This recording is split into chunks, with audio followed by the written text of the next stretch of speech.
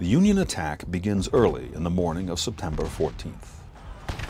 The goal is Turner's Gap, which carries the all-weather National Road over South Mountain.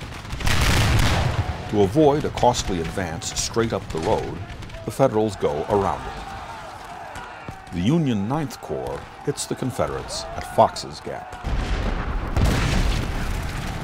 On the right, the First Corps goes over the top of the mountain at Frosttown Gap.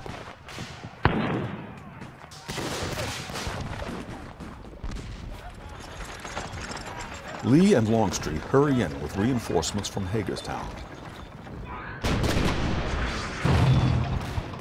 And the battle spreads out all along the ridgeline. All except Turner's Gap itself. But that is about to change. It's September 14th, and the Battle of South Mountain has been raging throughout most of the day. And late in the afternoon, Gibbon's Black Hat Brigade is ordered to move up along the National Road and attack Turner's Gap frontally.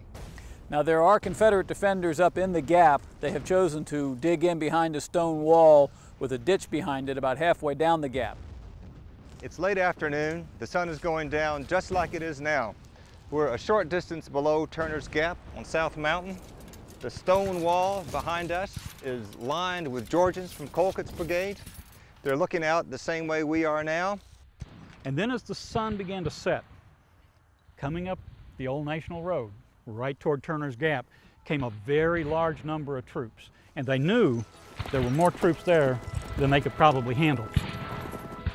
If you're a private soldier in Gibbon's brigade, you perhaps have that sinking feeling in your stomach that here we go again. Another tough stand-up frontal fight. Looks like we're going straight back into it again. It's like Brawner's Farm. As one of the men in the brigade said, it was an ugly looking place to attack. Moving straight toward the gap, Brigade Commander John Gibbon places two of his regiments to the left of the National Road and two on the right. The 7th Wisconsin leads to the right of the road with the 6th in support. With the 7th taking severe fire from their right front, the 6th is called on to come up and engage the Confederates, who are firing from behind trees and a stone wall. We'll go right now. I'll be with the colors until we pass the end of the 7th, and I'll stay there till the whole line goes by. Understand? I have it, Colonel. Captain Brown. Sir. Without doubling, right face. Company, two right, right face. The rest of you, forward at quick time. And when you reach this spot, right face, double quick. And when the company in front of you clears, close it up. Understood? Understood, Major. Company, follow me. Don't quick. Forward. Forward. Come on,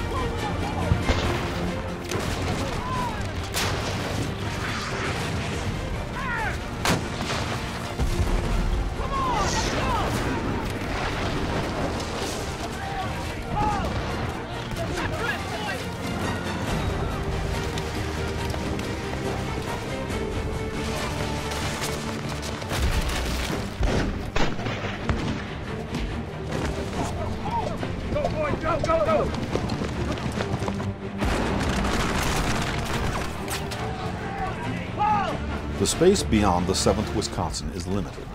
Only half of the 6th can deploy and fire their weapons. The situation is intolerable, but the Confederates are not about to give way. That's when Colonel Edward Bragg shows innovation, ability, and poise, and all while under fire. Dawes! Here's what we're gonna do. You'll have the right wing. Advance and fire a volley. Then have your men lie down. I'll bring the left wing over and we'll fire, you see? We're moving up South Mountain now, as Gibbon's men were at about 5 o'clock in the afternoon on the 14th, just about this time now. It's getting dark, and as the 6th Wisconsin reaches this position, Bragg realizes that he needs to narrow the front of his regiment and start leapfrogging the wings of the regiment to drive back the Confederates that are opposing his advance. Fire at the right oblique, but advance straight forward. I don't want to lose contact with the 7th. All right, sir. Tell Captain Callis with the 7th that we're moving up the support on his right and pushing forward. Right wing, forward, forward. Right face, forward, march. He'll order Major Dawes of the right wing to open fire on the Confederates and then have his men lie down. Fire!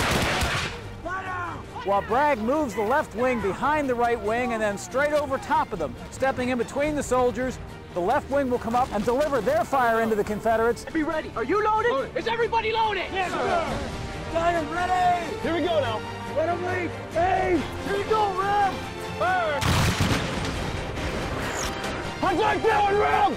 Lie down! And then they too will lie down.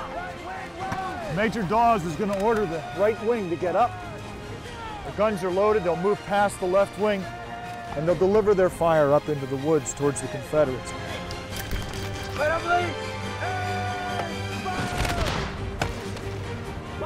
And so the two wings will leapfrog to drive the Confederates back. Keep it hot, boy!